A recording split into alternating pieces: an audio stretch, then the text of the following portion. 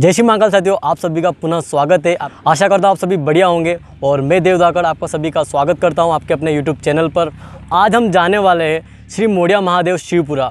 इस मंदिर के बारे में हमने काफ़ी सुना है तो उसी लिए आज हम इस मंदिर के दर्शन करने जा रहे हैं और आपको भी इस मंदिर की पूरी यात्रा करवाएँगे। यह मंदिर रतनगढ़। घाट के ऊपर एक उमर गाँव आता है, उसके जस्ट बाहर स्थित है, कि हम आपको यात्रा करवाने वाले हैं। आशा करता हूँ आपको ये वीडियो पसंद आएगा तो वीडियो में अंत तक ज़रूर बने रहिएगा। चलिए वीडियो शुरू करते हैं।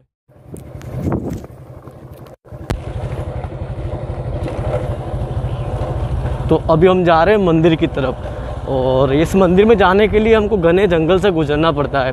तो अभी आप देख पा रहे होंगे कैसा घना जंगल दिख रहा होगा। आगे हमको मंदिर दिखाई दे रहे हैं, शायद वही मोड़िया महादेव मंदिर हो सकते हैं।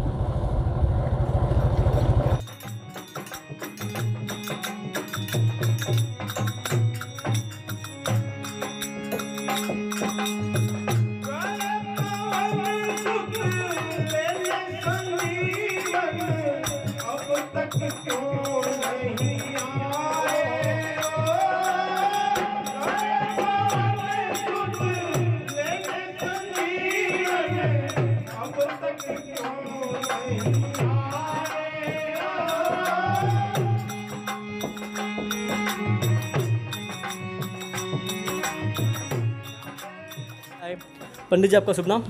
जगदीश मेरा नाम। अच्छा तो बहुत पुरानी बावड़ी है यहाँ। मंदिर का क्या इतिहास रहा है? मंदिर का ये इतिहास के पुराने बुज़ुर्ग लोग कहते हैं कि बहुत पुराना स्थान है।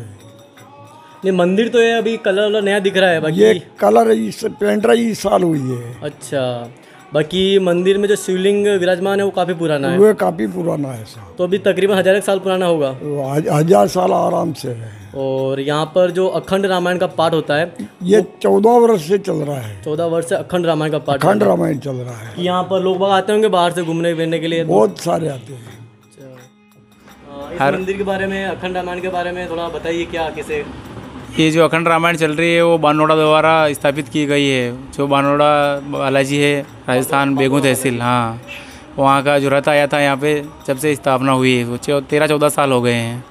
अच्छा मतलब वहाँ से स्थापना यहाँ पे हुई हाँ। कंटिन्यू रामायण कंटिन्यू रामायण चल रही है। यहाँ पाँच गाँव की समिति वगैरह है राणाखेड़ी नीमका खेड़ा मुआदा उमेद हाथीपुरा। उमर। पाँच ही गाँव यहाँ और एक एक नंबर आता है हर हर महीने में एक नंबर चलता है। जैसे हमारा आज बीस तारीख है ऐसे ही बीस तारीख वापस हर महीने में बीस तारीख आती है पाँच ही गाँवों के लोग यहाँ देते हैं ओसरा। तो आपका आज पाठ चल रहा है रामायण का? हाँ।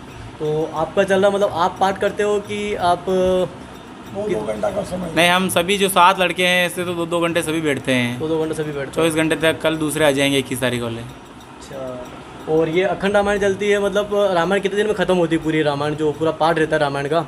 पूरी एक पूरा ये तो अपने ऊपर है।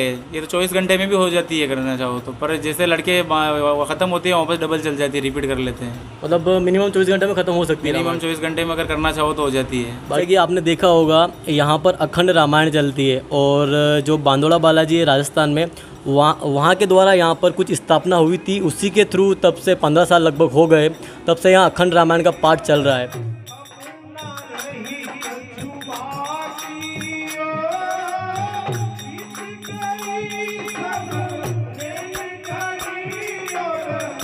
तो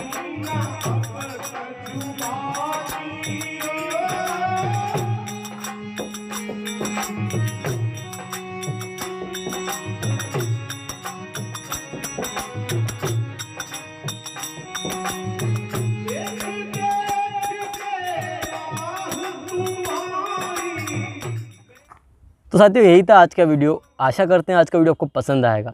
अगर भाई वीडियो पसंद आ गया तो वीडियो को लाइक ज़रूर कीजिएगा और चैनल को सब्सक्राइब करके बेल नोटिफिकेशन को ऑन भी कर दीजिएगा, जिससे आपको आगे जो वीडियो आने वाले उसकी नोटिफिकेशन सबसे पहले मिलेगी।